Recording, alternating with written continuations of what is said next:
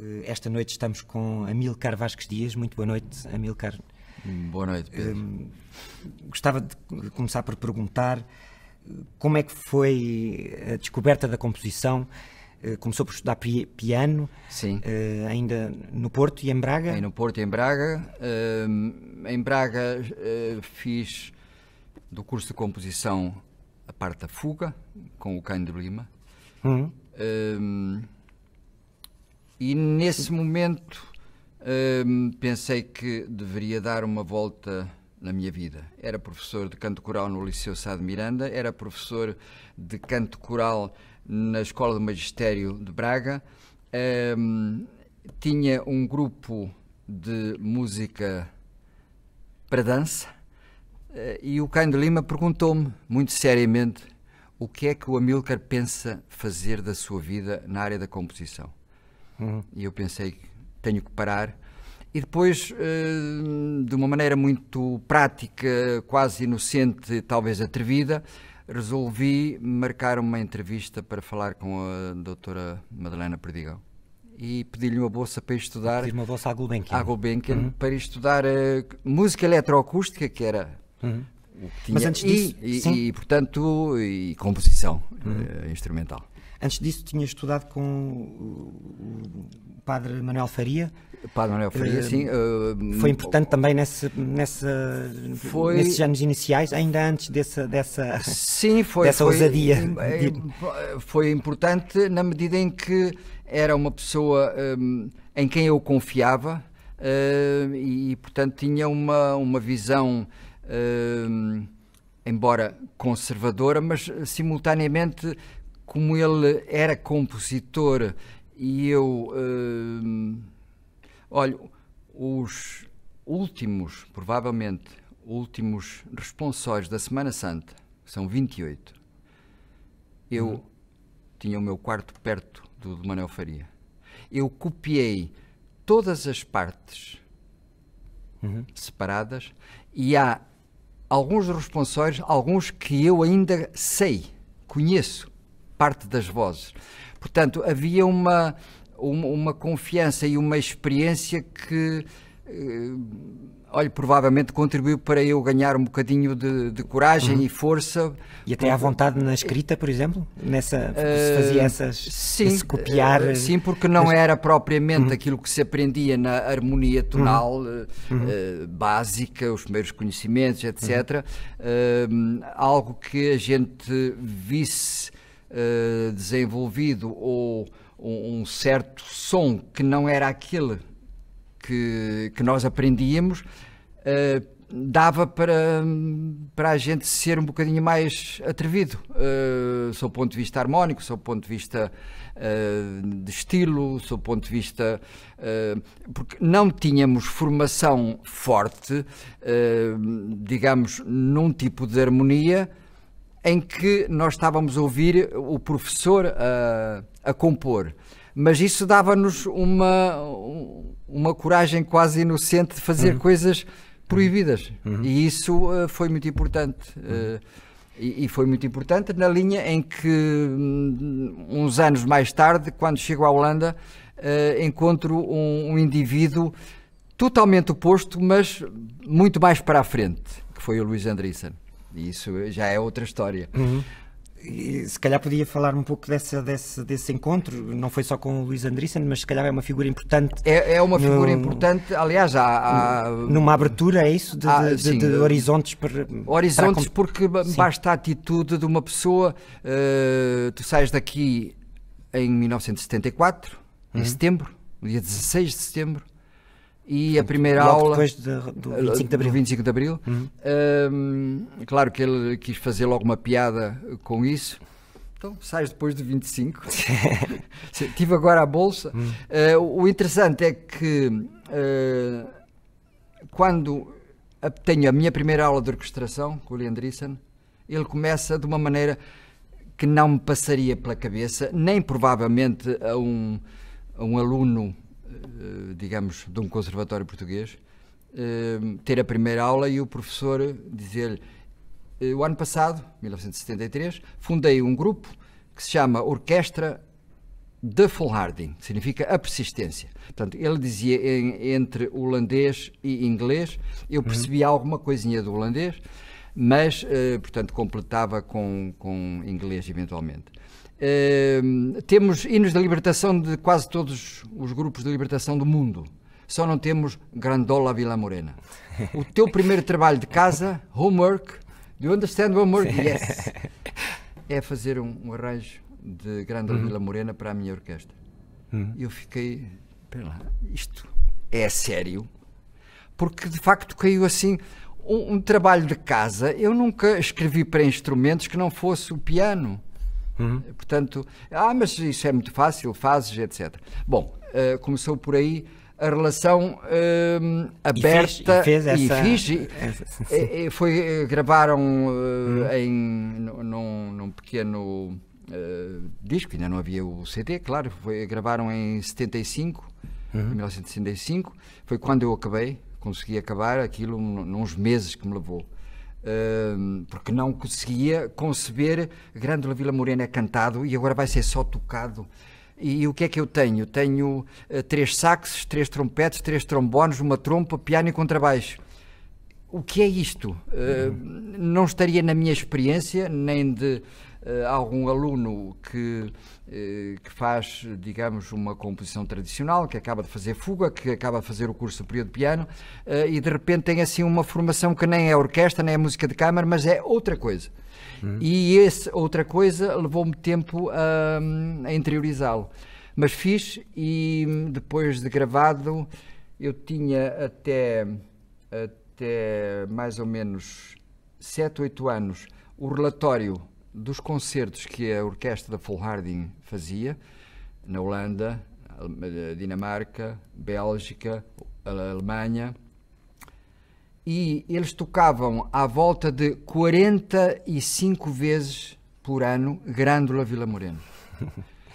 ainda agora, ainda recebo uns centavos da Sociedade de Autores Buma, Stemmeran, da Holanda, onde estou inscrito, porque na altura consideraram que eu era tinha direitos de arranjador. Hum, hum. Mas foi uma, uma coisa fantástica, porque isso levou-me depois a continuar uh, simultaneamente, que é como eu gosto de trabalhar quase, é, simultaneamente co coisas que são parecidas ou não que era uh, tanto fazer arranjos de música de José Afonso, porque a Full Harding, a, a, orquestra queria, como responder a encomendas que também me foram fazendo uh, uh, na Holanda. Eh, algumas eh, estão, estão aí uhum. anotadas, uhum. mas esse foi até 88 eu regressei a Portugal em 88, mas até fins dos anos 90 eu ainda tinha encomendas que fui terminando uhum. relacionada com grupos uh, instrumentais da Holanda. Se calhar podíamos ouvir um, uma peça sua de 76, portanto pouco, pouco eh, depois dessa pouco chegada. Depois, a minha primeira experiência com um estudo de música eletroacústica, portanto uhum. uh, uh, sons analógicos, sistema analógico, etc. Uh, com piano. Digamos, a versão com piano foi uma improvisação que eu tentei que fosse bem preparada, mas originalmente Era o só... que eu estava a fazer, o que eu fiz, é uma pequena peça que chamei Viagem, que tinha a ver com, com, com a minha transição de Portugal para a Holanda, que é maior do que se pode imaginar. Uh, sobretudo uh, na altura em que isso superou, portanto estamos em 74. Uhum. Uh, no fundo é música concreta, sons de, de, piano, sons de, de, de, água, sons de pássaros, etc. E tudo isso misturado num, numa, num movimento que eu pretendia que fosse em, em extensão. Uhum. Pronto, e portanto tem, tem alguma, alguma coisa que, que foi o meu princípio, simultaneamente com outras coisas que não têm a ver com eletroacústica, mas que contribuíram para que eu simultaneamente usasse células da peça noutras peças que estava uhum. a fazer nesse Vamos momento. então ouvir Viagem e já continuamos Sim. Com, com essas outras coisas que já estava a fazer. Uh, Viagem de 1976 de Amílcar Vasques Dias uh, com, para, para tape e piano. E piano. Uma gravação de 1984 num concerto no Centre Culturel da Gulbenkian, Sim. Centro Cultural da Gulbenkian, em Paris. Em Paris.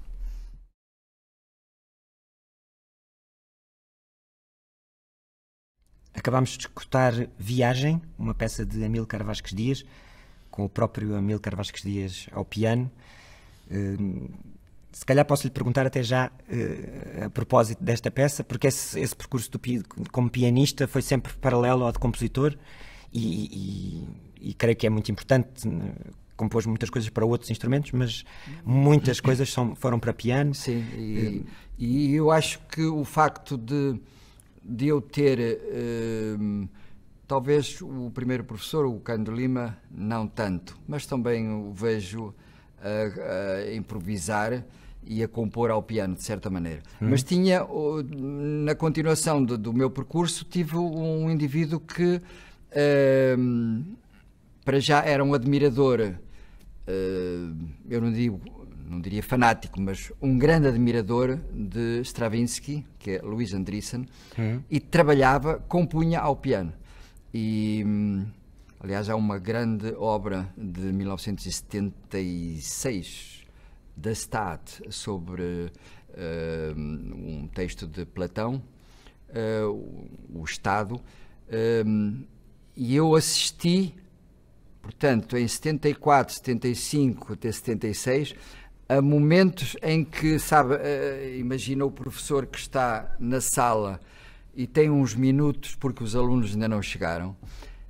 Uhum. E aqueles que entravam em primeiro lugar, eu ouvia-o a fazer uh, procuras, a improvisar sobre uh, materiais que ele iria utilizar na, nessa peça que estava a fazer, portanto, da Stat. Uhum. Há um, um, livro muito interessante sobre, sobre essa peça de um compositor, musicólogo inglês. Uhum. Uh, numa entrevista, numa entrevista que deu ao MIC, Sim. Uh, há 20 anos. Citava, citava já há, há, muitos anos, citava o próprio Andreessen que quando ele dizia tudo é possível, tudo depende de ti, do que fazes com isso. Isso foi um ensinamento importante? Foi, foi importante porque... Essa é, possibilidade de... Porque era uma...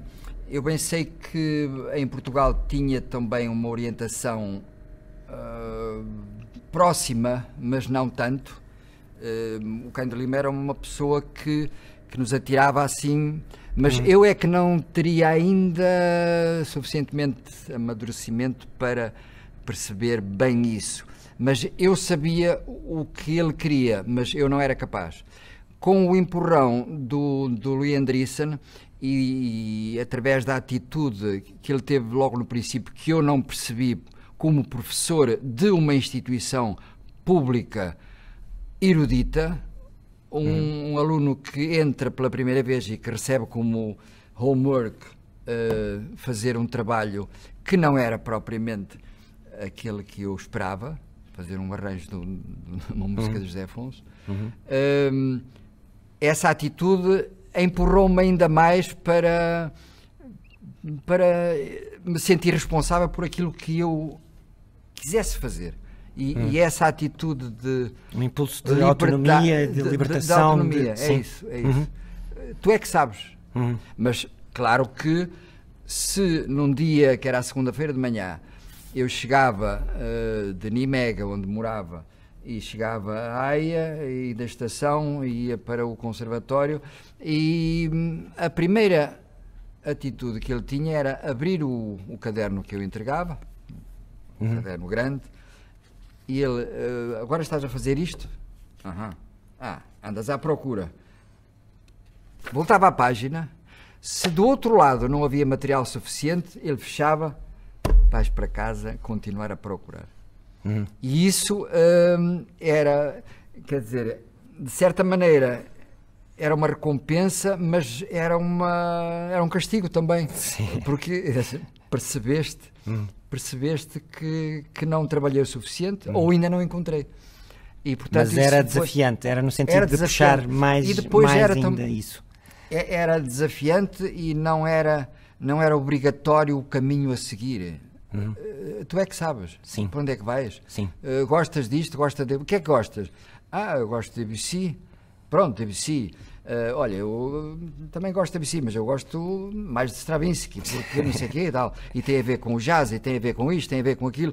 E eu ficava uh, uhum. entusiasmado porque hum, começava a haver mais ligações uhum. que eu teria em Portugal, mas de uma maneira um bocadinho demasiado soft. Uhum. Uhum. Portanto, ali a coisa era mais imposta vou utilizar aspas, à holandesa. Uhum. Que não, não brinca Houve, houve outras pessoas importantes aí nessa altura, contacto com outros, encontros com, com outros compositores, com colegas, com... Eu tenho o, o, um dos meus professores de composição, e foi o primeiro, e depois simultaneamente com o Louis Andriessen, que era professor de orquestração, é o Peter Schat. Peter Schat, uh, um indivíduo que na Holanda, nessa altura, não havia diplomas para composição, havia o prémio de composição. E o Louis Andriessen teve um prémio de composição, portanto, os bons, uh, e foi estudar com. Uh, estudar. Uh, bem, foi trabalhar, trabalhar com Luciano Berio. Uhum. o Peter Schat teve uma, um prémio de composição e foi trabalhar com o Pierre Boulez. Mas ao fim de, de uns meses veio-se embora porque não concordava, disse-me ele, que não concordava com estar a aprender a administrar notas. Administração Sim. da nota. Nada. E então uh, ele foi estruturando ao longo dos anos um, um processo de composição que é uh, serial, mas que são as horas do relógio, clockwork. E portanto, uh, por tríades combina, faz sonoridades de, eh, e faz séries diferentes uhum. e compôs uh, algumas uh, obras importantes uh, baseado nesse. Uhum. O Amilcar nesse... procurou, procurou fazer alguma coisa que tenha a ver com esse tipo de trabalho? Com não. Esse... não. Não. Mas eu, estava... eu, eu, também estava no momento em que ele estava a experimentar isso. Uhum. Portanto, estamos a falar 75, 76, 77, e são os anos, à medida que eu vi e acompanhava o percurso também do Louis Andriessen, e também acompanhava o percurso do diretor do conservatório, que era outro compositor, um, o Jan van Vleemen, um, eu, é uma coisa muito gira dizer é que Louis Andriessen, Peter Schat, Jan van Vleemen, uh, uh, queria dizer aqui mais outro, que é o Reinbert Leu, que ainda é dos maestros preferidos e também pianista uh, do, do Louis Andriessen. E falta aqui um que infelizmente já faleceu, que é pianista de jazz, free jazz, que é o. Um, isto para dizer o quê? Para dizer que são cinco alunos do mesmo professor e o Louis Andriessen, mais que uma vez, falava do professor Kees van Baren como sendo dos melhores professores que se possa imaginar. E porquê? Porque teve cinco alunos e todos saíram diferentes, cada um hum. a compor à sua maneira. Um deles até uh, uh, pianista de jazz, free jazz, um, e que eu conheci também pessoalmente. Um, e conheci também pessoalmente há três ou quatro anos num dos concertos de jazz, de jazz em agosto na Fundação Gulbenkian. E agora uh, passou-me o nome Misha Mengelberg. Hum. Hum. Esses cinco alunos, cinco colegas, todos a compor de uma maneira diferente, um, e, e todo esse percurso destas pessoas eu, por exemplo, não era capaz de ver um Misha Mengelberg, pianista de, de jazz, um, a ser colega de um uh, Jan van Vleemen, que é diretor do conservatório, um tipo hum. mais institucional, mais uh, um temperamento Uh, mais delicado, mais Louis Andriessen era um, poderia dizer, um temperamento um bocadinho mais uh, não é desorganiza desorganizante. Uh, e por isso é que ele me dizia: uhum. nós, orquestra, tocamos onde queremos, na rua, mas no concerto de cabal não. Uhum. Portanto, essas atitudes contribuíram para uma desorientando-me, contribuíram Sim. para uma orientação muito, uhum. muito gira. Uhum. teve 14 anos na Holanda. 14, sim. Uh, e já comp uh, compôs muita coisa aí. Há, há, pouco estávamos a falar de uma peça.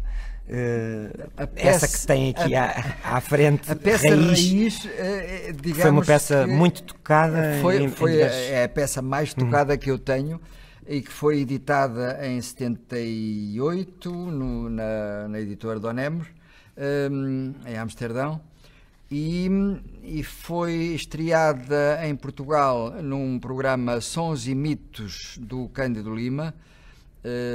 Eu digo Cândido Lima, não digo professor, que é para poupar tempo, e além do mais, é uma pessoa excepcional porque, para mim, como professor, foi antes dos, dos anos 70, eh, até 74, eh, mas continuou até à data ainda como amigo, e isso uhum. é um, uhum. um privilégio especial portanto, foi estreado nesse. Eu próprio fiz a parte de piano. Uh, que me desculpe uh, o flautista que fez a parte da flauta, que é uma peça para flauta, flauta. piano uhum. e banda magnética, ou tape, como se dizia na altura. E uns meses depois, na Fundação Gulbenkian, portanto, 79, isto foi em fevereiro, março, no, no Porto em maio, junho, festival, eh, portanto, encontros de música contemporânea na Gulbenkian, foi Jorge Peixinho com o flautista, que era o flautista de, do grupo de, de música contemporânea de Lisboa. Não uhum. estou agora a ver quem é, mas uh, sei que foi com. Pode ser Franco? Carlos Franco? Carlos não. Franco. Pode ser, então. Pode ser, sim, sim. Um, sobretudo em, na Holanda, em, em, várias cidades. Tenho aqui os anos desde 1977 em Haia até, até 87, 88 em Antuérpia, Viana do Castelo 83, Roterdão 85, etc. Um, infelizmente não tenho nenhuma boa gravação desta peça. Hum. Mas pronto. Então, não vamos ouvir raiz, o raiz, mas de qualquer maneira tem alguma importância, se calhar, nesse, nesses anos. Sim, uh, até porque eh, eu, eu, não, não teria cá em Portugal, de certeza absoluta, nem teria tido a oportunidade de escrever uma peça assim, nem muito menos fazer com que ela fosse editada. Portanto, hum. eu mandei os meus originais para, para a editora Donemos e eles pura e simplesmente usaram, policopiaram e, uhum. e fizeram uma partitura. Mas se calhar podíamos ouvir uma peça um bocadinho posterior já, eh, de 91, Serrana, Serrana, aliás. Serrana. Serrana.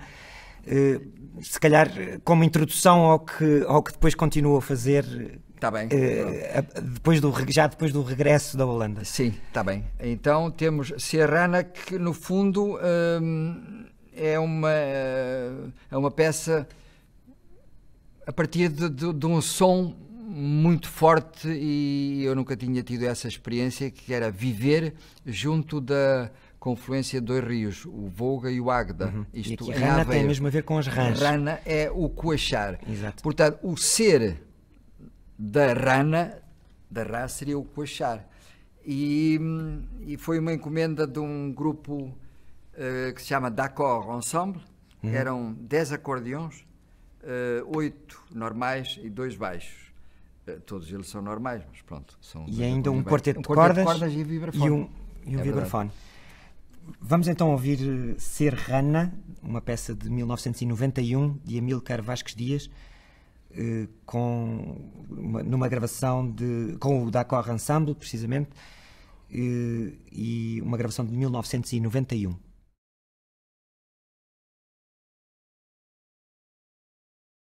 Acabámos de escutar Ser Rana com o D'accord Ensemble, uma peça de Amilcar Vasques Dias, com quem estamos à conversa neste Música Hoje, na primeira pessoa. Uh, Amilcar, estávamos a falar ainda do, dos, dos, anos, da importância desses anos na Holanda uh, e, e, já na transição para Portugal, mas, mas uh, se calhar ainda queria chamar a atenção a para outras, em, outras, em, outros encontros importantes é na Holanda. Esses encontros, muito importante, sob diferentes aspectos, mas foi um encontro, um seminário de seis semanas com Stockhausen no Conservatório Real de Haia. Uhum.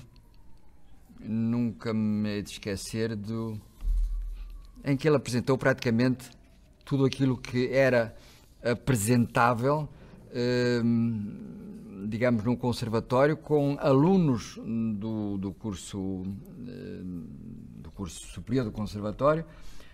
Hum, contacta para piano e percussão e banda sonora.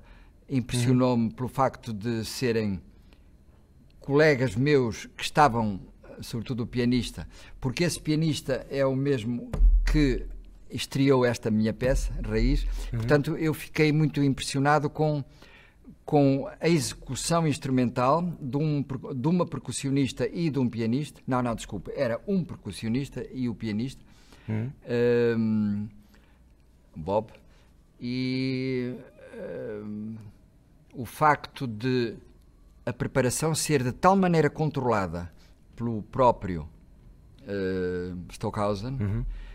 que me deu, uh, criou a sensação um indivíduo organizadíssimo, não deixava uma, uma migalha de lado, era aquilo, era mais aquilo, e uhum. como pedagogo, como, portanto, as análises que fazia das obras uh, dele, claro que havia aspectos cómicos, por exemplo, quando ele diz trans, trans, vamos ouvir e ver trans. acordei de noite, tive um sonho e vi Claro que os holandeses, para essas coisas assim um bocadinho sonhadoras e quase românticas, uhum. são, são muito agrestes. O lado modo, mais místico, se calhar. Do, pois, é, é uma. Um, hum. Enfim, de modo que quase queriam gozar com, com o aspecto sim. dele ter sonhado. Isto dá tanto tempo, tanto trabalhinho hum. a, a pensá-las, e este agora vem-nos dizer que. Mas ele punha-se na sua posição, defendia a sua posição hum. e depois era capaz de explicar, mas sem garantir que isto tem que ser do vosso interesse ou que vos agrade. Mas isto foi o que eu pensei, isto foi o que eu fiz, isto foi o que eu sonhei. Uhum. E isso impressionou-me como eh, pessoa que, ao contrário de mim, que talvez, não, quase certeza que não sou nada organizado ou que tem mais dúvidas, é isso? Ou, ou, ou faz da dúvida sei. processo de composição ou, então também? faço da dúvida, porque é o pior que se pode ter é duvidar. Mas eu acho não, que não é. Não? Olha, não sei, eu, eu, quando tenho uma dúvida. Mas é isso que de certa uhum. maneira nos move também para. O certo é que isso foi nos princípios dos anos 80. Uhum. Um, 82, 84 estava eu a compor uma peça, a, a terceira para a música eletroacústica de Mandeloube, sobre hum. o poema de Victor, Victor Hugo. Hum. Ainda sei, de Mandeloube, à l'heure blanchit la campagne, vois-tu, je partirai. Um, romântico, romântico, foi apresentada várias vezes. Tenho nesse concerto em Paris uma gravação de uma cantora holandesa eu ao piano e com essa e com, com a banda sonora de, de Mandelob.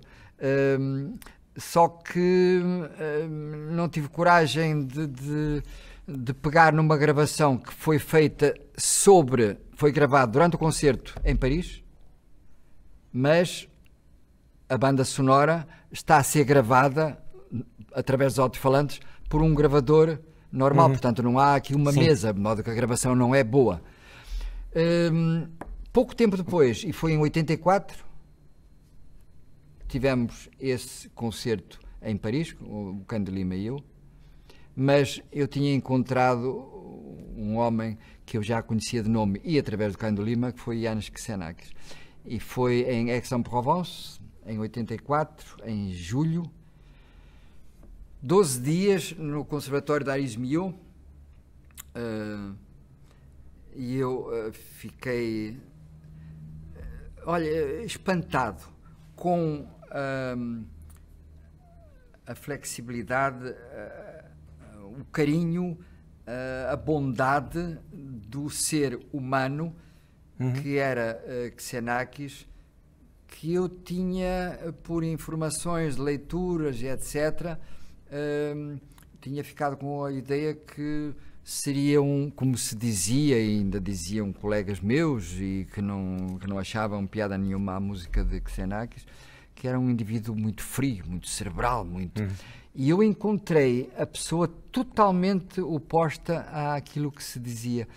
E das coisas que me impressionaram mais foi quando eu lhe perguntei, numa, no, no fim de uma, uma palestra, um, se as pedras tinham algum interesse. Porque ele tinha falado em pedras também, porque, uhum. dada a sua colaboração como euh, como engenheiro, como arquiteto uh, com Le Corbusier, uhum. uh, e ele disse: Mais oui, mais les pierres, c'est des histoires de milliers d'années. Uhum. E depois começa a falar com os dedos. Ele não tinha nenhuma pedra na mão, mas eu percebi que ele estava a falar da textura, da sensação que era uh, o tipo de pedra, Uh, e a impressão de uma pessoa que me diz uma pedra tem todo, merece todo o respeito, tem milhões de anos. E eu fiquei uh, depois com outras conversas, porque o, aquele seminário de, de, de, quase duas semanas era com uh, músicos que interpretavam ali ao vivo música de, de Xenakis, Elizabeth Rojnacka, para cravo, e o, e o senhor que me marcou também, o pianista uh, Claude Elfer, uh, isso foi a propósito da improvisação, uhum. uh, e que eu desafiei, assim um bocadinho, talvez, não sei se é a portuguesa, se inocentemente ou a holandesa, ele estava a tocar uma das, das peças de Debussy, Evriali, e e tinha um movimento muito rápido. Estamos a falar, não, não era nenhum jovem de, de 20 nem 30 anos. Portanto, era um homem uh, experiente e, e, e, tinha um movimento da mão esquerda para uma nota muito aguda, uma tecla muito aguda. E era um Fá sustenido, aquela tecla muito aguda. E eu pedi-lhe desculpa porque eu quase não acreditava que fosse possível. E pedi-lhe desculpa, pode repetir este bocadinho aqui? E ele sorriu-se e percebeu de certeza.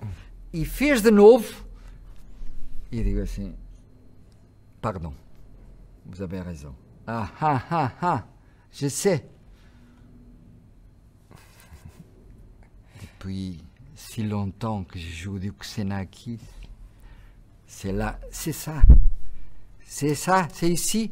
E, portanto, ele fazia, uh, mostrou-me uh, que aqui na cabeça também. Na cabeça Sim. estava o movimento e que já há muitos anos que hum. tocava uh, aquela peça. Aquela peça hum. é de um, Evriali, é de 74. Portanto, nós estamos em 84, pelo menos já tocava, ou pelo menos começou a estudar a peça uh, aos, uh, portanto, 10 anos antes. E o curioso é que impensável seria, 20 anos antes, alguém de um curso superior de um conservatório a tirar-se a, a, estudar uma peça, como anos antes também seria impensável uh, que peças de Stockhausen entrassem no repertório, uhum. de, de, no, no, programa de, dos conservatórios, piano, curso superior. Uhum. E, no entanto, eu já fui encontrar, hum, digamos, provas de que as coisas evoluem de tal maneira que ao longo de 10, uma, eh, quer dizer, eh, não é preciso 20 anos, mas ao longo de 10 anos aparecem pessoas com capacidades e habilidades uh, uh, superiores àquilo que, que é pensável. E nesse curso, nesse estágio, uh, apareceu uma mulher, aluna de um curso superior em França, que estava a estudar Evrial.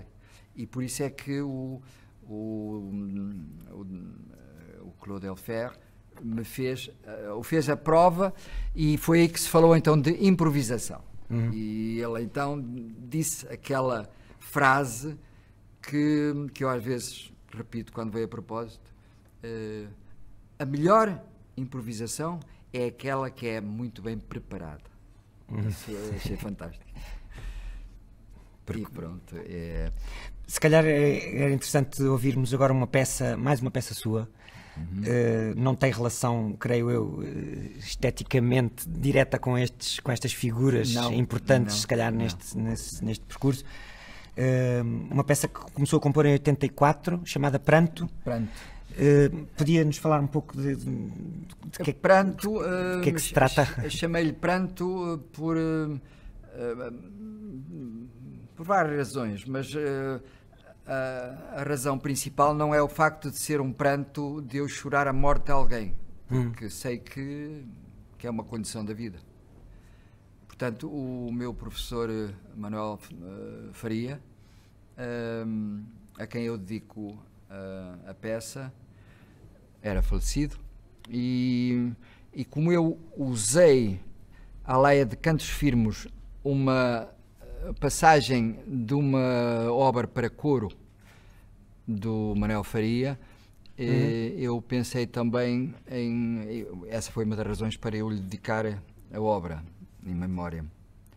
É uma peça que só, só termina em 88. Em portanto, no final 88, de- sim. quatro, quatro anos, porque sinceramente eh, fosse por. eh, não sei se não era preguiça, era medo, ou dúvida também, mas medo de não acabar. Mas isso é o, o que me acontece muitas vezes. Eh, Começo, é mais fácil começar, porque vem do impulso normalmente ligado a uma experiência musical. eh, de improvisação, eh, pianística, de procura.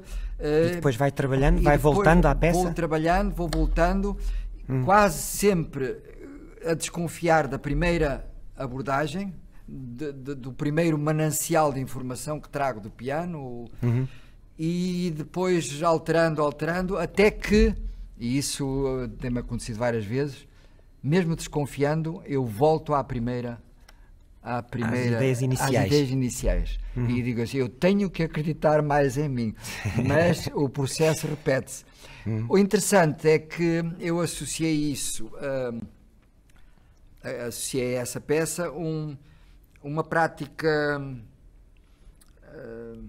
que não sei se ainda existe, mas eh, sempre ouvi falar de eh, as prantadeiras ou pranteiras, que eram hum, normalmente mulheres que em algumas aldeias eh, e não, não acredito que seja só no Minho e Alto Minho, mas provavelmente também em Trás-os-Montes.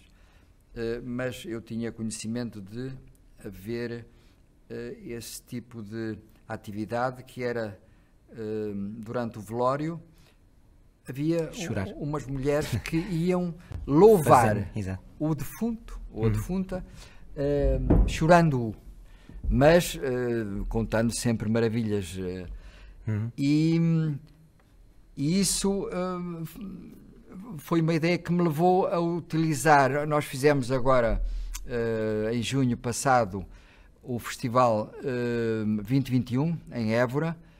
E, Que é diretor artístico. que, de que sou é diretor, diretor, artístico. E eh, eu então escolhi, porque foi de- do, do Festival Criações eh, a iniciativa, escolhi um programa de música dos anos 70 até 2000, 2000 e pouco, foi até 2000, e, escolhi algumas peças que a Full Harding tinha no seu repertório nessa altura. E esta foi então tocada pela primeira vez por músicos portugueses, e um dos músicos chamou-me a atenção para o facto de três trompetes que introduzem a peça, pronto, eh, ser algo tão. Eh, aliás, a minha mulher também me disse: Olha, eu gostava que eles pusessem a, a parte inicial, pelo menos, do, do, do pranto. Hum, e é baseada numa. num cantos firmos de uma canção tradicional que eu aprendi com o José Afonso, ou entrudo, ou entrudo, ou entrudo chocalheiro. Portanto, eh, o que está a ser ornamentado pelas três trompetes é a melodia do Ó Entrudo Chocalheiro. Vamos então ouvir Pranto de Amílcar Vasques Dias.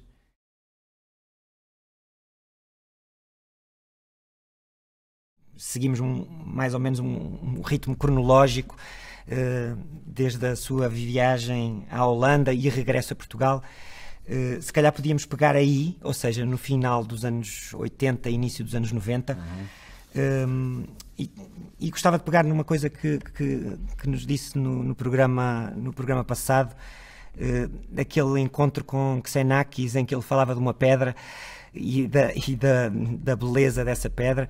Uh, a natureza é muitas vezes inspiração para a sua, para a sua composição. Uh, não sei se é inspiração a palavra mais, mais certa, mas muitas vezes se refere à natureza como dizendo que há ali música já há ali música. Podia-nos explicar um pouco o que é isso, porque se calhar era interessante até em relação a, a algumas das composições que vamos ouvir hoje. Sim. Uh, um... Como é essa relação com a natureza e como é, que inspiração é essa? A inspiração,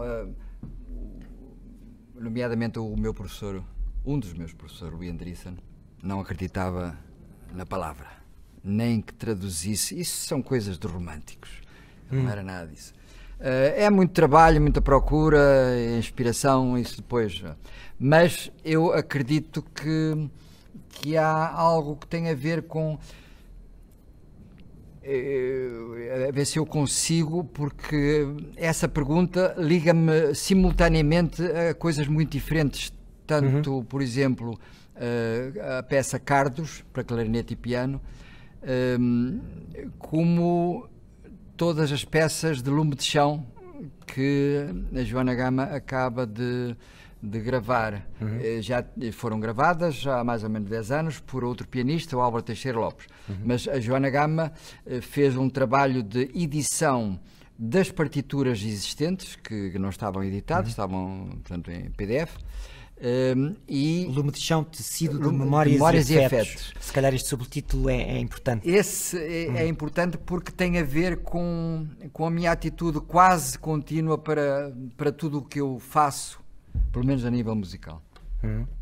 Que é sentir que há alguma coisa hum, sensível. E quando digo sensível, é mesmo eh, se eu ponho a minha mão direita, o meu polegar no Lá o indicador no si bemol, o, o dedo maior no ré bemol, o quarto dedo no mi bemol e o dedo mínimo no mi, eu tenho uma posição, eu diria quase uh, sem aspas, ótima para o equilíbrio da minha mão, porque tem a ver com a ergonomia uhum. do teclado em relação aos dedos, ou dos dedos em relação ao teclado. Uhum. Mas daí quando eu falo de tecido de memórias e afetos, não são, são as memórias que eu tenho de ser pianista, de procurar no piano, de arranjar maneira uhum. de pôr os meus dedos no piano, de maneira que a maneira de pôr os dedos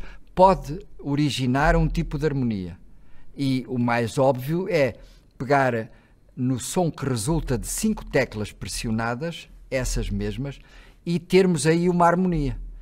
Portanto, uh, há peças no, eh, no lume de chão que são baseadas, na, digamos, são a partir de posicionamento das mãos e dos dedos no teclado.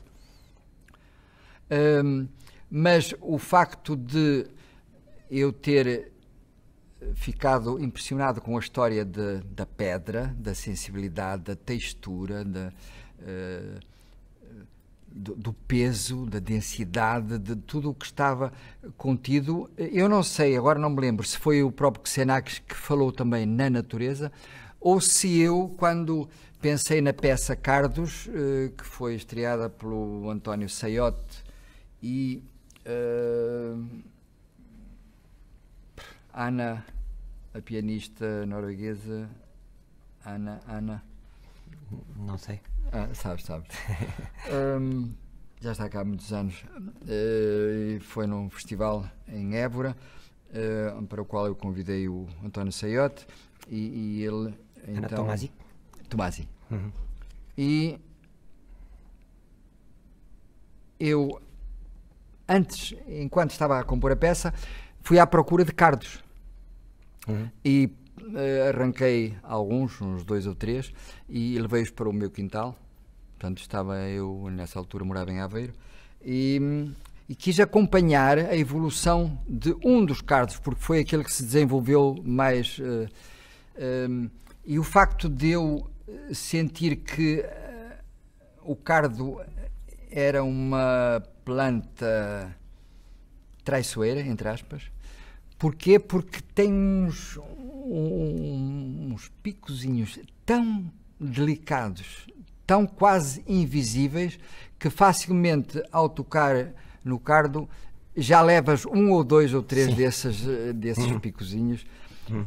Mas o, o, que era interessante era ver que uh, a primeira faixa de folhas eram três. A segunda eram cinco. A terceira eram outra vez três. A quarta passou para sete. E eu achei aquilo tão curioso. Espera lá, eu posso fazer aqui uma série de. Hum. Uh, seguindo a ordem de, de, de, de, número de folhas em cada uh, fase de desenvolvimento eh, do, do cardo e uh, utilizar isto. Eu ainda não sabia como, mas o que achava interessante era haver uh, uma, uma, uma ordem que eu não tinha pensado sequer. Uhum. Uhum. Portanto, mas o facto de eu ligar a pedra a uma folha, eu, sobretudo desde que vim para o Alentejo, tive mais atenção a, a pegar em folhas eh, para saber que a folha há uma peça no lume de chão que se chama azinheira de silêncio. Uhum. E eu muitas vezes não tem nada a ver com o som.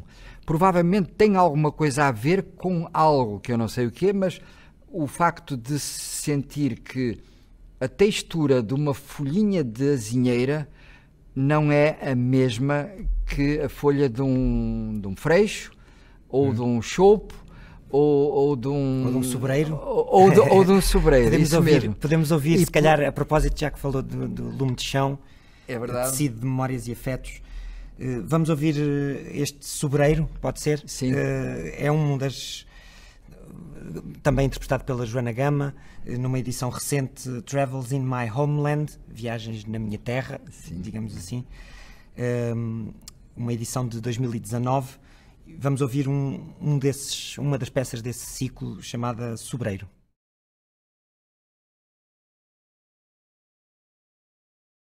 Amilcar, estávamos a falar desta questão da relação com a natureza e de haver música em potência em, na natureza, isso tinha a ver com, também com a sua com, com, o facto de ter passado a viver no Alentejo Sim. e que isso foi uma um, alguma importância nos anos 90, não é? 96? Sim, a partir de 96, 97, hum. portanto, até portanto 20, 20 e poucos anos hum. Eh, que vivi.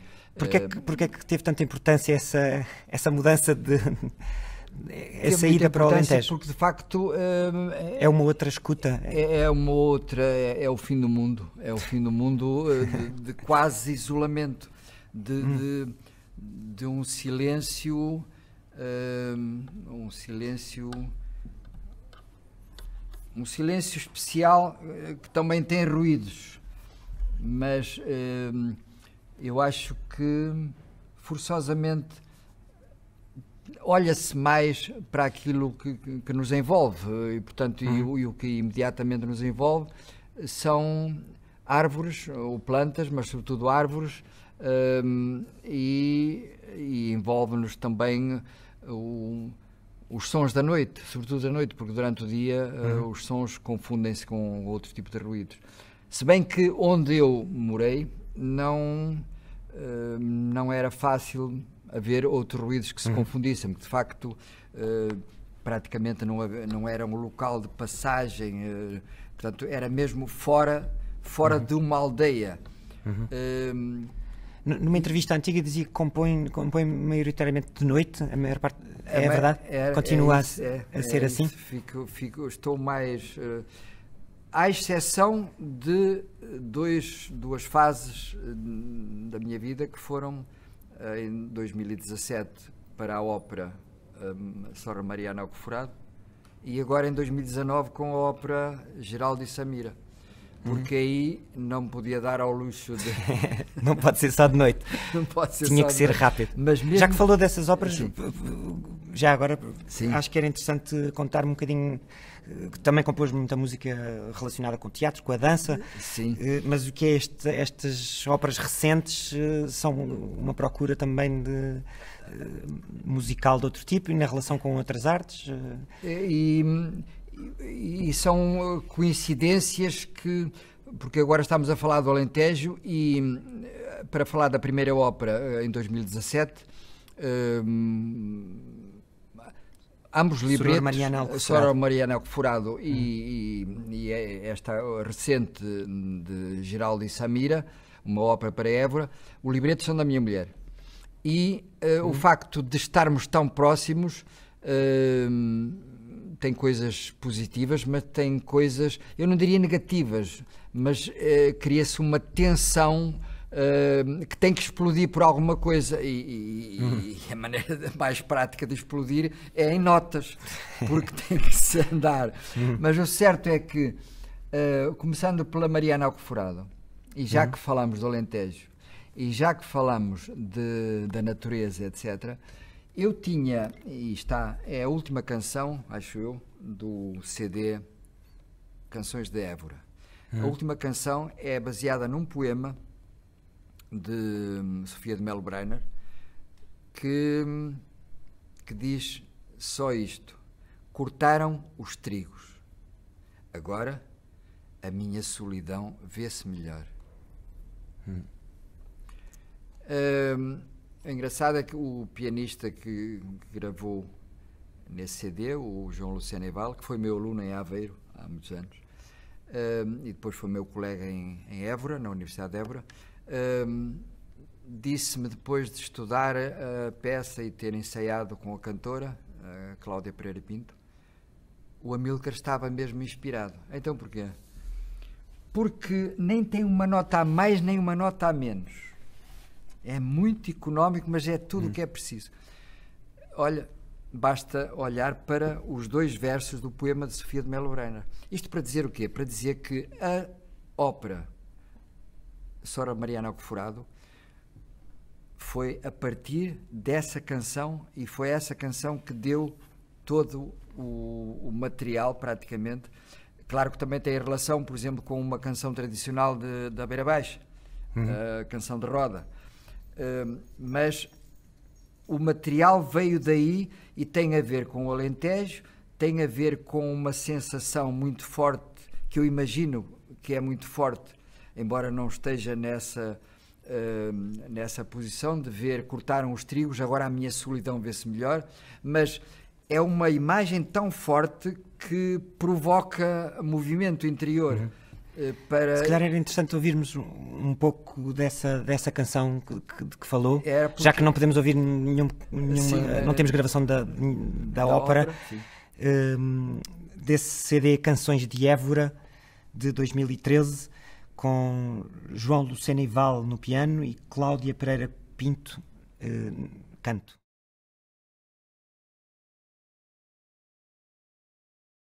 Amilcar, não, interrompemos só para ouvir um, um exemplo de Sim. que falou, mas, eh, mas gostava que continuasse, porque estava, estava a falar destas relações Sim, de alguma música de raiz tradicional que, que o tem interessado. Sim, uh, creio que é uma característica comum a, que se pode encontrar ao longo da, da sua obra, é mas que dá origem depois a, a outras coisas. É verdade.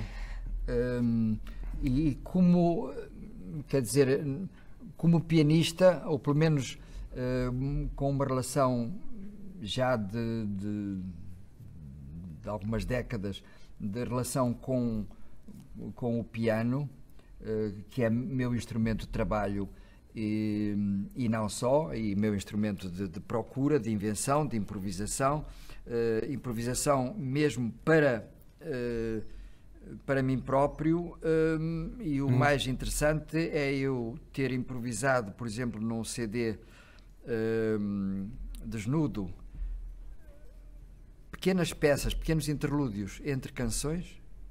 Hum e como foram improvisadas no dia em que fui ao estúdio gravar, na Numérica, na URA Estúdio Numérica, que entretanto acabou, uh, eu não fui capaz de recuperar, mesmo ouvindo uh, todas, uh, todos esses improvisos.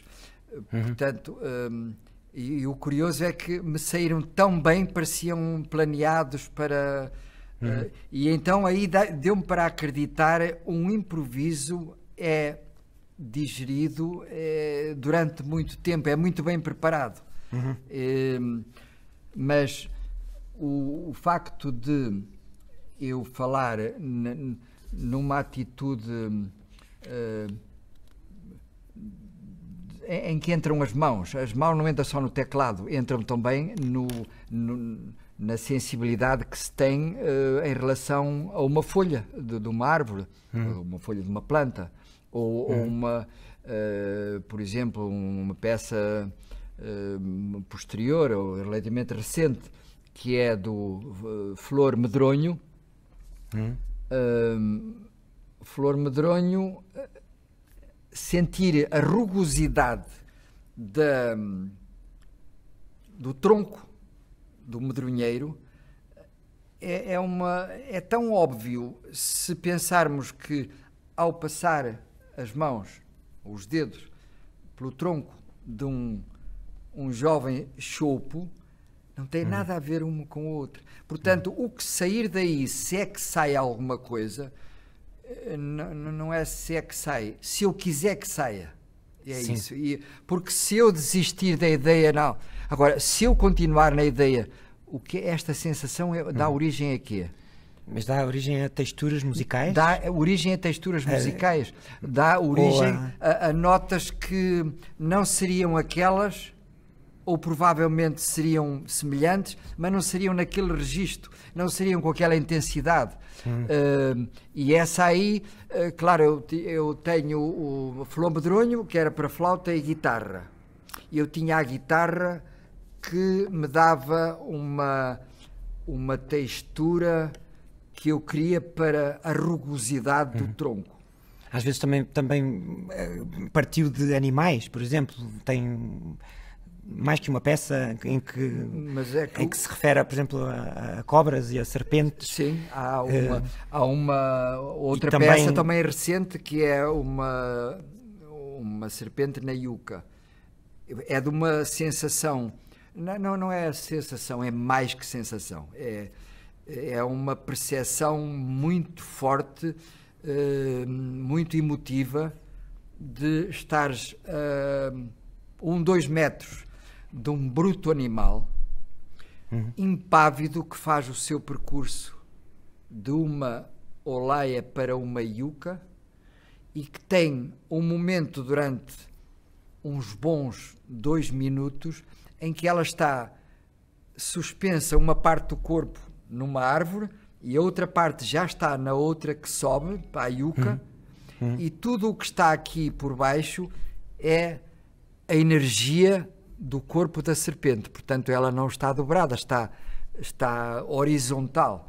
E isso é tão impressionante porque isso cria eh, interiormente um movimento muito forte de, de afeto, de respeito, quase medo. Hum. e, e, isso tem a ver, eh, se compararmos com o que se passa com tecido de memórias e afetos. Porquê é que, porquê é que eu falo em tecido? Tecido porque há lá cinco peças dedicadas ao ciclo do linho, em que eu sei que a minha avó, e tinha eu quatro, três, quatro, cinco anos, hum. na aldeia onde eu nasci, a minha avó, na Cardenha, que era um lugar fechadinho onde estava o tiar, ela fazia isso e era com as mãos. Mas hum. era com as mãos também que cozinhava, e era com as mãos que limpava, Sim. era com as mãos que fazia o pão e eu ainda sei qual é o cheiro desse pão. Uhum. E por isso há uma peça também que se chama Cerejas Pão, uhum. que era o, o, paladar das cerejas da cerejeira do tanque, que eu sei uhum. como era a cerejeira, que já não está lá, infelizmente já morreu, uh, com pão que a uhum. minha própria uhum. avó uh, fazia no forno. Portanto, tudo o que está uh, relacionado com mãos, com sensibilidade, com cheiros, com, uh, com aspectos visuais que impressionaram. Eu, eu... eu sugeria que ouvíssemos um, um pouco de uma serpente na yuca já que falou, já que falou dessa peça, okay. uh, uma peça bastante recente, não é? De 2018. 2018, sim. E, e há pouco estava a contar que a peça tem um vídeo, foi apresentada com um vídeo antes do concerto. Sim, Como... sim. E, e, é assim que, que o próprio uh, Francisco Bereni uh, já apresentou uh, noutros, noutros concertos. Guitarrista. A guitarrista do Porto. creio que neste momento ainda está a fazer mestrado na Universidade de Aveiro, ou então já o terminou um, com um guitarrista, com o professor um, Pedro Rodrigues, pode ser? Uhum. Pedro Rodrigues, um, que posteriormente veio então a, a ser solista na peça uh, Flor Medronho. Vamos então ouvir uma serpente na yuca. Na yuca.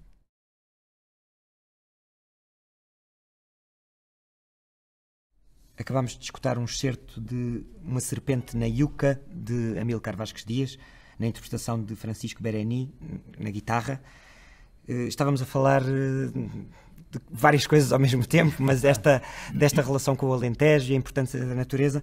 Mas, eh, para além disso, também houve um trabalho diretamente sobre, por exemplo, o cante Uh, Podia-nos falar um pouco disso e esse, é o canto também, até na ópera também ele está presente. Também esteve. Uh, mas uh, vamos ouvir um, um, outro exemplo que é o Limoeiro. Se calhar podia-nos falar um pouco desta, desta peça e, e, e, e, também que, tem, que também tem a ver com a questão da improvisação, não? Sim, sim, sim. tem a ver com o, o limoeiro, o limão, a textura do limão uh, o aroma do limão e depois uh, a sensibilidade do poeta em o, o, facto de eu me ligar ao canto alentejano como um projeto uh, eventualmente musicalmente interessante porque as melodias são muito simples. Todo o uhum. canto alentejano está em Dó, Dó maior. Portanto, eles adaptam, os cantadores adaptam ao registro vocal, ao Dó, às vezes vai ao Si, Ré, Mi bemol, Ré bemol. Portanto, estas são as notas fundamentais, mas é tudo em maior. Quer dizer que se repete uh, muito facilmente e sem grande Uh, sem ser necessário estar muito atento, uhum. o mesmo tipo de cadência, uhum. tudo. Tari, uhum. uh, e vem mais outra e é um bocadinho mais devagar. Lara, tirara,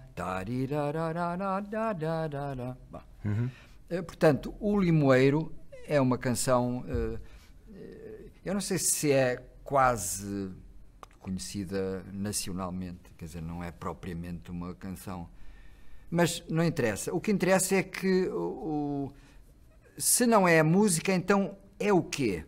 É tudo aquilo que tem a ver com o limoeiro, que é a planta, eh, que são as cores das folhas, que são as cores dos limões, que é o aroma, e é depois uh, aquilo que a informação do poeta me diz.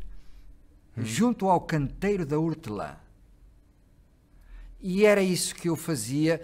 O, o meu objetivo ao, entre aspas, acompanhar os cantadores, eu não os queria acompanhar. Uhum. Porque acompanhar os cantadores era dar-lhes dois, o máximo, três acordes, que são os acordes mais básicos que se podem imaginar, que é o acorde fundamental, que é o quarto grau, uhum. que é a dominante, e acabou, e o quinto grau. Então o que é que achou que podia fazer com o piano? O que podia fazer era Sim. desacompanhá-los. Portanto, eu fazer tudo aquilo que me viesse à cabeça, e isto não se improvisa assim de um dia para o outro, amanhã temos concerto, vamos improvisar. Não. Isto demorou meses até eu me eh, inteirar de, do texto das canções. Portanto, se há uh, junto ao canteiro da Hortelã, eu ligo-me ao texto, porque a música, primeiro, eu sei que eles, cantadores, eram dois, não se perdem, não se desorientam. Eles têm a melodia uh, de tal maneira uh, nos genes que faça eu o que fizer a eles nível de piano, eles não se perdem. Uhum. a única coisa que eu achava que valia a pena era testar a sua capacidade de ornamentar. Ora, a capacidade de ornamentar, e isso é um fenómeno que já vem de, de, dos, dos, nossos barrocos e pré-barrocos, hum, a ornamentação, se a nota é longa, ou se ornamenta, ou então, como é o caso do cravo, ela morre facilmente. Uhum. O cantador tem limites na, na, sua capacidade eh, respiratória. Portanto, ele não pode uh, estar a ornamentar infinitamente. infinitamente. Sim. Mas, e aí é que, se o desafio for mais lento, portanto, vais ter que ornamentar mais, e, vai, e a ornamentação sente-se se é criativa ou se é por acaso. Portanto, isso também se vai treinando, porque se vai apreciando. Ah, há bocadinho foi melhor, aí foi melhor, ou esta. E uh, o meu objetivo aqui foi apresentar duas pequenas, uh, dois pequenos exemplos, duas versões da mesma canção em situações totalmente diferentes. Uma ao vivo, no primeiro concerto que hum, realizamos no CCB, no auditório pequeno do CCB. Uh, eh, ainda sei a data, 27 de fevereiro de 2013. Tínhamos uh, passado um, uns tempos consideráveis a ensaiar e o senhor Joaquim Soares, de saudosa memória, infelizmente faleceu pouco tempo depois. Um, conseguiu algo que ele, fundador de um grupo, o Grupo Cantares de Évora, em Évora, um, ele conseguiu fazer sozinho aquilo que ele não teria coragem de fazer perante os seus colegas de, de grupo, hum. que era lançar a moda e dar-lhe uh, de um fôlego. Tenho no quintal um limoeiro uh, de uma maneira que, que é impressionante. Hum. E se compararmos a minha reação pianística com a reação de dois, três anos após esse concerto no estúdio da Musibéria, em uhum. o mesmo cantador, o mesmo pianista, uh, a improvisação é diferente e musicalmente eh, vale o que vale, mas uh, é uma situação que tem a ver com a preparação que é precisa para se improvisar e, e, e para avaliar das reações, de, neste caso do cantador, em relação ao piano ou do piano em relação ao cantador. Vamos ouvir então o Limoeiro nestas duas versões. Nestas duas versões.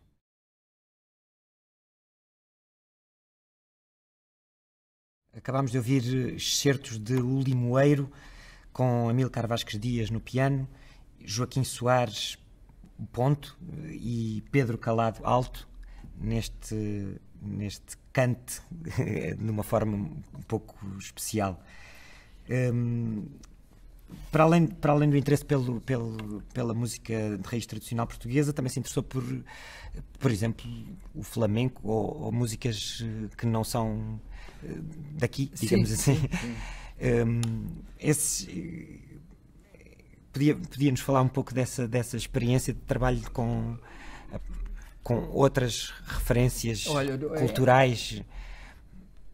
É, em relação ao, ao cante, porque estava inserido num, num ambiente, é, é não foi sempre assim, quer dizer, eu vivi, tenho hum. vivido aqui no Alentejo desde 1997.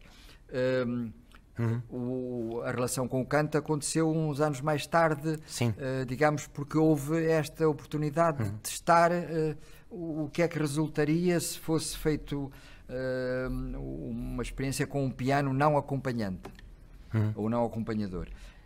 a Nana del Cabalho então... Grande, com a cantaora Esther Marino, foi uma, uma experiência que é quase, não diria simultânea, mas, mas anda eh, próxima e, e veio de, de, uma, de uma ideia de o que é que seria uma cantaora cantar como se fosse um canto flamenco, uma canção, e neste caso foi muito concretamente a mulher. Uh, uma canção do Lorca? De José Afonso.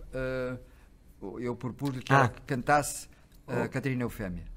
Uhum e ao fim de poucas semanas, eh, três, quatro semanas, ela estava em minha casa a, a ensaiar como ela cantava e passadas duas semanas estávamos no Palácio Foz a fazer uma, uma apresentação numa versão que não se sabia. Para ela era um fado, o fado da Catarina. Uhum. Um, para as pessoas, e depois no Festival Flamenco em Lisboa, em 2013 ou 14, foi cantada de, de novo, uhum. Eh, essa canção de José Afonso, e ela ficou espantada com a reação do público, porque é de uma força tal que não tem nada eh, ou pouco a ver com aquilo que a gente ouve normalmente. Uh, mesmo que seja o José Afonso, porque ele canta muito bem, mas ela, uh, Esther Marino, dá uma força, dá uma, uma, uma emoção, comunica uma, uma, uma, uma impressão que, que é fora do, fora do vulgar. Daí veio a ideia de se alargar um bocadinho e veio a Nana del Cabalho Grande, porque ela propôs há uma Nana, que é uma canção de embalar, eh, uhum. que é do Garcia Lorca, eh, mas quer dizer, eles não, não estão propriamente a pensar se é do Garcia Lorca ou não é. Sim. O que lhes interessa é que é um must para um cantaor que, que quer dar a entender o que é que ele faz com uma canção livre, ornamentada livremente, mas musicalmente, uma canção com um conteúdo dramático. Hum, basicamente, se analisarmos a peça, é, é, é uma melodia muito simples. Uhum. É, eu diria que era quase tão simples como a do Limoeiro. Só que aqui está passada para um outro âmbito uhum. uh, escalar, uh, modal. E, e, o limoeiro mantém-se tonal. Uhum. E eu, para ir contar a tonalidade no limoeiro, faço no piano tudo o que a imaginação me, me deixa alcançar. Com a Esté Marino, o problema põe-se de uma maneira diferente, eu tento acompanhá-la, não como se fosse um guitarrista, porque esses de facto têm uma, uma, experiência fantástica, mas como se fosse um pianista que está entre Debussy hum, e, e, não sei, e Amílcar Vasquez Dias, ou, ou, não faço ideia. Vamos então ouvir Nana del Caballo Grande com Esther Marino como cantora flamenca e uh, Amílcar Vasquez Dias ao piano.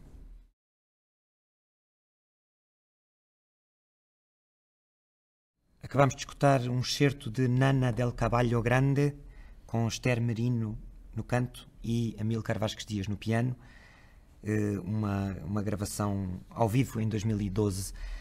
Um, Amílcar Vasques Dias, eh, o tempo passa depressa, mas temos ainda tempo, se calhar, para ouvir mais um, um, um pequeno excerto de uma peça que, de 2015, eh, Unha Gata.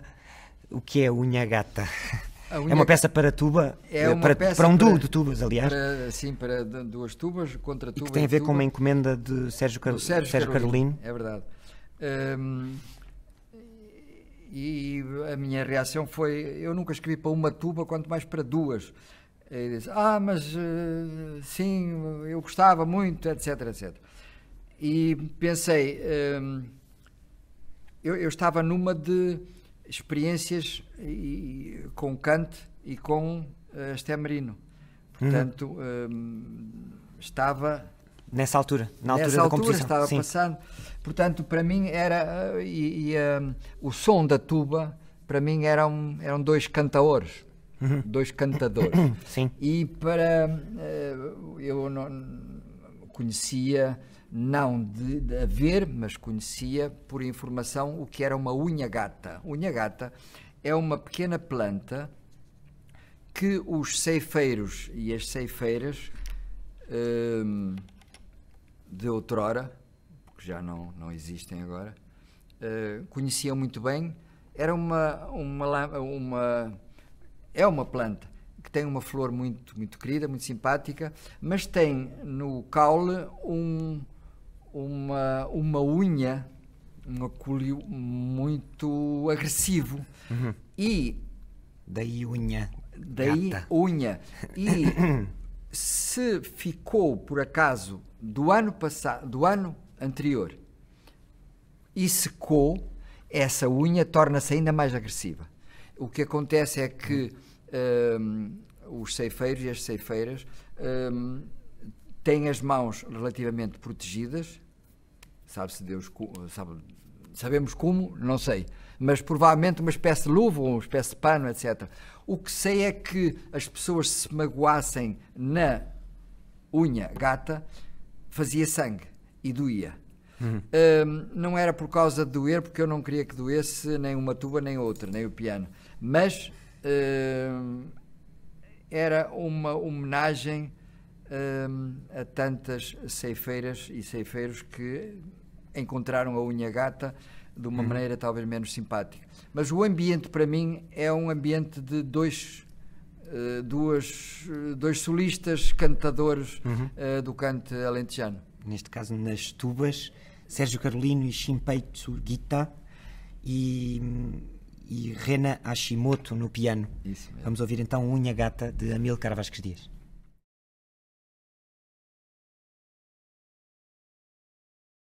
Acabámos de ouvir um excerto de Unha Gata de Amílcar Vasques Dias pelo Yamaha Tuba Duo, uma peça de 2015. Uh, Amílcar, temos pouco tempo, mas gostava de saber também um pouco que é que, em que é que anda a trabalhar agora, uh, porque este programa é na primeira pessoa e é sobre a, a atualidade da composição, para além do seu percurso que já nos contou em grande medida.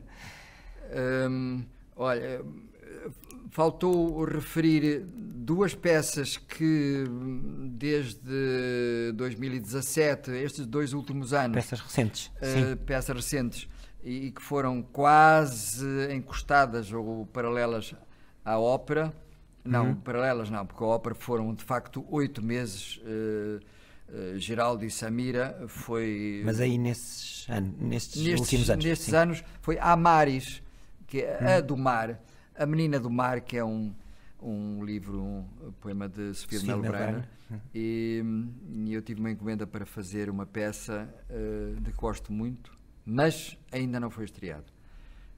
Entretanto, e também na mesma altura, hum, estive em, em Marvão e com um pianista que é o Raul da Costa, hum, que veio tocar a Évora quando tinha 13 anos, a convite meu e do professor uh, Aor Teixeira Lopes.